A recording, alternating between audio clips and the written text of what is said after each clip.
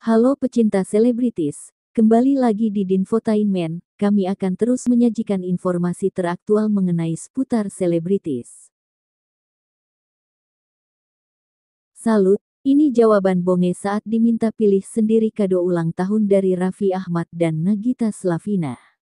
Salah satu ikon Citayam Fashion Week, Bonge, beberapa waktu lalu berulang tahun. Pasangan Raffi Ahmad dan Nagita Slavina berencana memberikan hadiah untuk Bonge. Bonge kemudian diundang ke kediaman Raffi Ahmad untuk menentukan sendiri kado ulang tahun untuk dirinya. Namun, saat diberikan kebebasan untuk memilih kado, Bonge justru kebingungan memilihnya. Nagita Slavina kemudian memberikan pilihan untuk Bonge, antara uang atau diberangkatkan umrah. Gue udah diamanahkan, katanya suruh ngasih kado ke lu, Lu disuruh milih mau kado apa? Lu mau umrah apa mau uang? Tanya Nagita Slavina, dilansir dari tayangan YouTube RANS Entertainment, Kamis.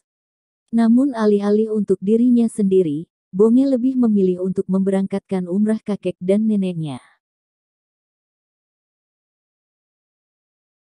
Siska Kol nangis dilamar Jess No Limit. Siska Kol kembali menjadi trending topik di media sosial.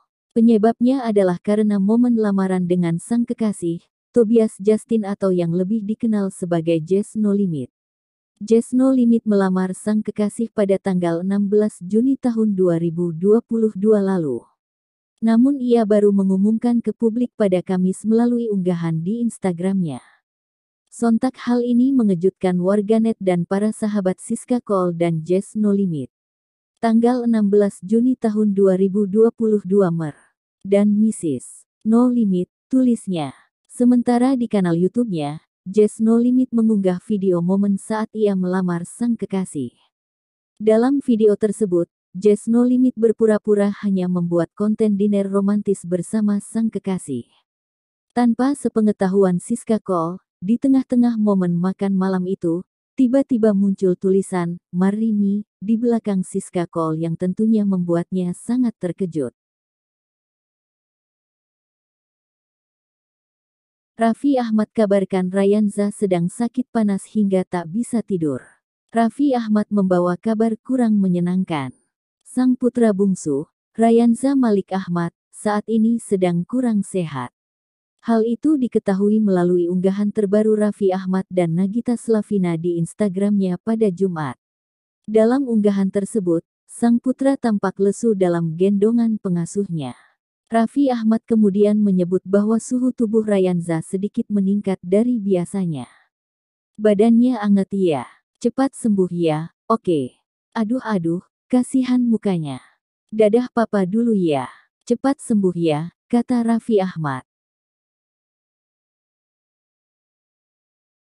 Bongkar penghasilan, Nikita Mirzani akui dapat 9,8 rupiah miliar hanya dari YouTube. Nikita Mirzani belak-belakan membongkar penghasilannya selama setahun.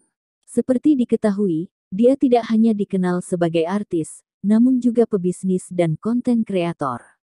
Niki mengaku, dia bisa mendapat 300 juta rupiah setiap minggunya hanya dari jualan skincare di TikTok. Penghasilan sang aktris sebagai konten kreator juga tak kalah menggiurkan. Dari channel YouTube Crazy Nick Mirreal bisa 800 juta rupiah per bulan atau 9,8 miliar rupiah dalam setahun, ujarnya saat tampil dalam sebuah program talk show di televisi swasta, seperti dikutip pada Jumat lalu. Inilah update berita selebritis hari ini. Jika kalian suka channel ini jangan lupa like, share, dan subscribe, agar tidak ketinggalan update seputar selebritis lainnya. Terima kasih sudah menonton channel ini semoga terhibur dan harinya menyenangkan.